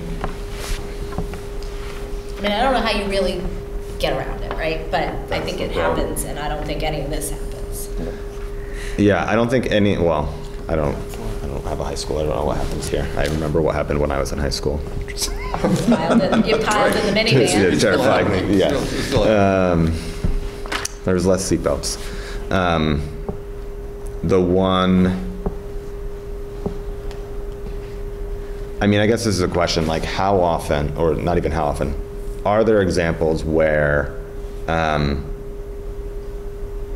you know, transportation's happening to and from the school by staff or parents outside of the van that's like organized? Right, like is there an event where it's like we're going to the robotics tournament and we're organizing this carpool? Um, Right, all the time. and Yep. in the, in those cases, are we doing anything in terms, like, again, this is specifying the amount of liability, personal liability insurance the person has. Um, MASC recommends that we should say that any of those drivers or any other adults in the car are CORI checked. Um, I I'm think ass- with robotics that happens, because they're all I- on tours. Right, I'm sure they're doing that for robotics, but I don't, This is not happening. yeah. Uh, The typical liability on a, on a car for a high schooler is probably $20,000. That's the minimum of the state, I believe. Yeah, Um, I don't know how we would check that. Yeah. I don't know how we would police any of this. Well, We have to, the swim sectionals in Springfield, they have to be there for seven, so Sierra's going to meet the Ayer Shirley, yeah. Littleton, Harvard kids at Dunkin' Donuts at 5:10. And there's going to be eight girls going to Springfield Let's see, you're Right. driving? with Sierra driving. I think the, diff- like, this policy is in the event of like, is the coach organizing that or the kid, like, again, there's a difference between me and my neighbor. Both, both But that, that's, that's not an excuse, though. That's just like, that's like, um, what's the word I'm looking for? Like, whether the coach organizes it or not, the coach knows those kids are getting there somehow, right? Like, that's burying your head in the sand. Well, right, but the liability of it, right? So from a liability perspective, if the school is organizing or has transportation to and from activities, and I don't know, it, it does feel like there's a difference between like parents are responsible for getting their, you know, kids to an event, and the parents organize a carpool.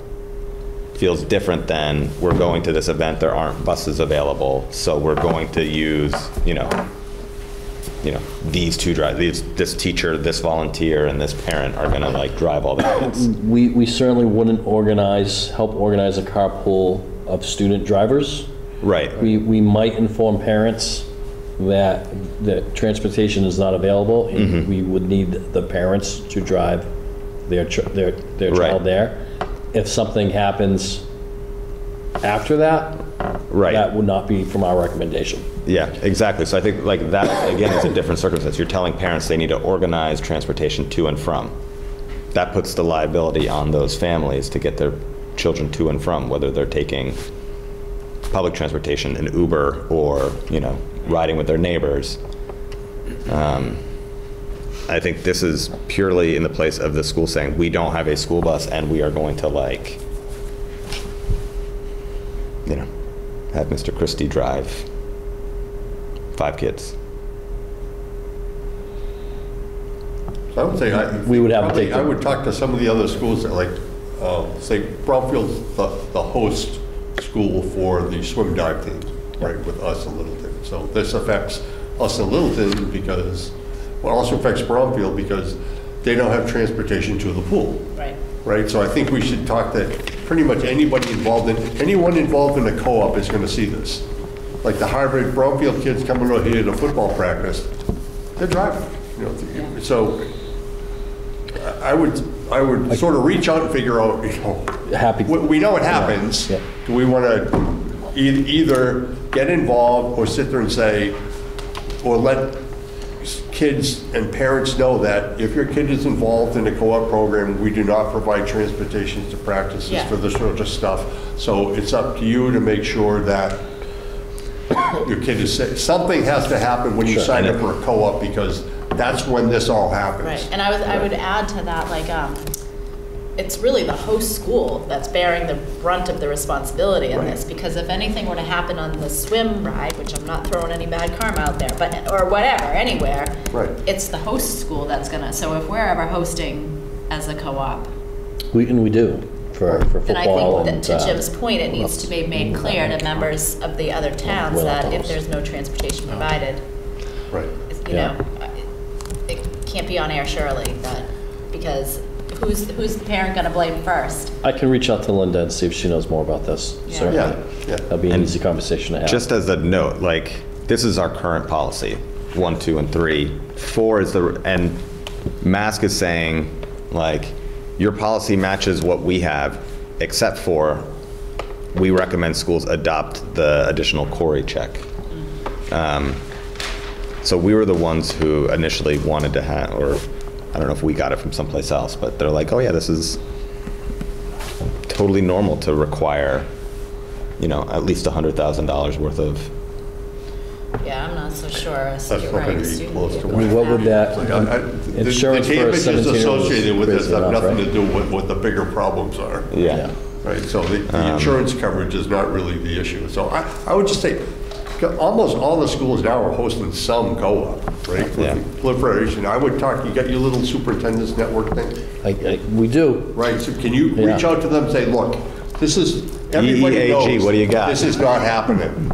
I can get that on How the do you want to list deal with this? probably later tonight, actually. Right. Great. Yeah. Okay. I mean, it, ha- it happens even though, even in a non-co-op situation, where Yeah. I'm thinking Oh, yeah. about like the Always scenario where we might be sending kids to Pirone to practice, and, Right. and they're piling into Right, the bus doesn't show up for Right, golf. all that, Yeah. yeah, right, you just go. Busing is, is still an issue.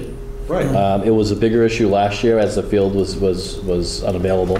So we had, we had, in baseball, we had baseball in Leominster, we had it at Pirone, we had, I mean, we had spring sports all over the place, so, yeah, I mean, and a lot of that, a lot of this happened. So, yeah, we can, we can certainly look into that. Yeah.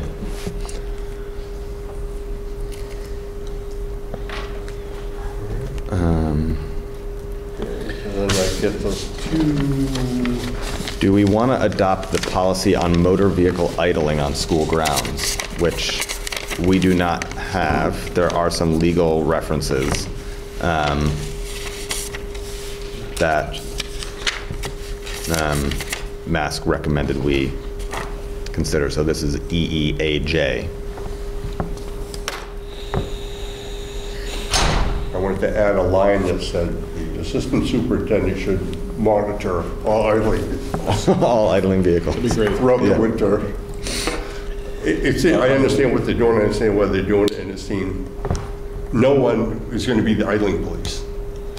I mean, it would just be another piece of paper in here, I'm not saying it's a bad thing, but, you know, people have remote starts, so their cars are warm when they get in. Yeah. You know, you know, that's gonna happen, I mean, And if you're sitting in the car for a while because you're cold at the football game, you're gonna go back there, you're gonna turn the car on, you're gonna turn the heat on. So I, I don't think there's any way for us to comply to this. What is idling? I'm sorry, but like sitting there with your car on? Um, Yeah, Running. Car- Not to exceed. It's exceed not moving. It's three minutes in a 15-minute period, or, Who's going to enforce that? That's like the, the pickup line. I mean, Right. when parent pickup, Right. it's gonna, you're gonna be in line longer than three minutes. Right. um, except, well, that is allowed. Oh, Um, Right, so like you can, you can drop your kids off, you can wait to pick your kids up. Um, But what you can't do is, you know, pull up to the school for half an hour in the middle of the day and just like sit in that turnaround in front of Lura White. Um, um, With those extreme cases, we can address that um, without a policy. Yeah, yeah, would There it be are- like a fire lane or something like that, or?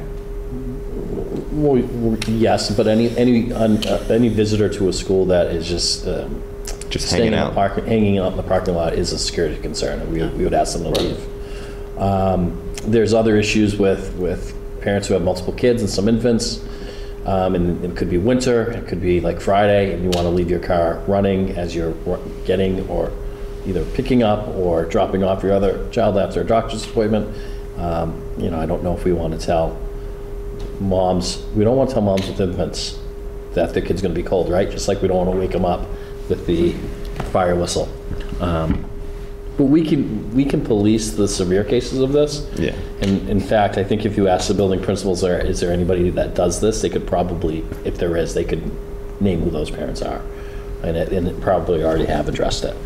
But it's, it's just a different world. Uh, Cars almost are coming, like, like you said, with remote start, right? And, and you're gonna have a car idling and no one sitting in it, right?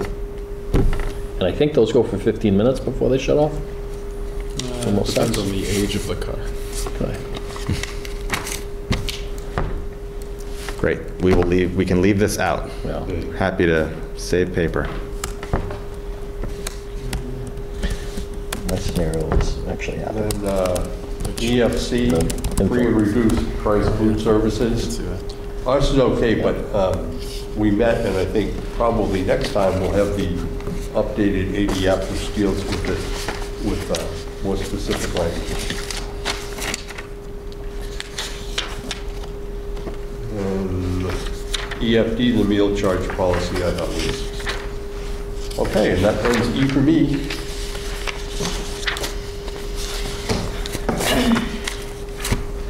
Great.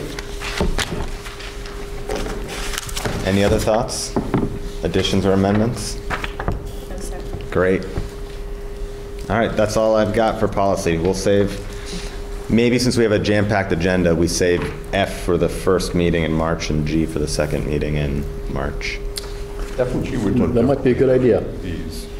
I will also get this top sheet. I'll share that with Michelle so that you Yeah, have good. this for Yeah, F and G, because that's, These are shorter anyway. yeah, actually, we could probably do it, I think F and, I think, yeah. We can probably do F and G together. I think F was like a 15-minute discussion. Okay, all right. Um, so we're gonna, Well, but we'll do it at the beginning of March. great. Although F right now, I would make a motion that we accept F as is. Do we want to vote on F? Do you want to? Let's do it in March. Okay. We'll give Joyce and Eric a chance. put to- bone there, right? You know what? I, Michelle got real excited that we were going to vote on one. You were like, we I can. was in. Hold on. First or second meeting in March, want those? First. Both? Yeah, we can do them both at the same time. All right, so I'm gonna move on. Great. Um, Item 11, other topics not, uh, for discussion not reasonably anticipated 48 hours in advance of this meeting. Does anyone have anything? Please say no. Okay, good. Um, And then number 12, chairperson's notes. And number 13, communications, which I think is normally Eric. But I will take a volunteer to read tonight. All right, announcements for February 7th, 2023. Wednesday, February 8th, incoming kindergartner, kindergarten information presentation hosted by Page Hilltop Elementary will be 5 to 6.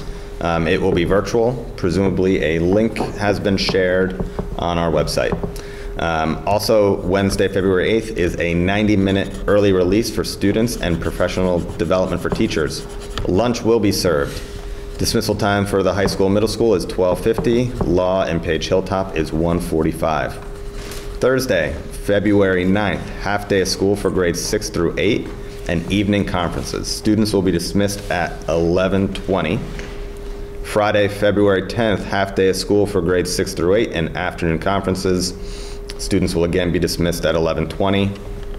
Monday, February 13th, progress reports issued for students in grades preschool through 5.